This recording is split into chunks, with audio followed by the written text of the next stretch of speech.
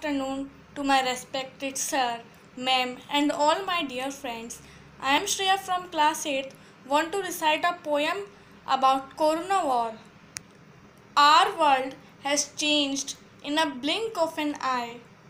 For overnight, it seems like our loved ones has said goodbye. The coronavirus has made us tense and now we lead a life of social distance.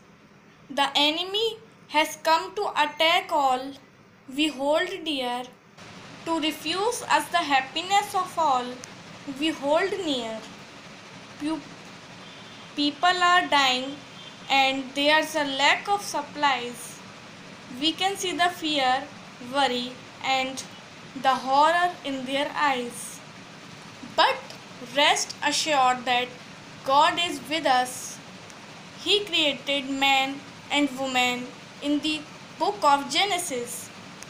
We are His beloved children and He loves us all.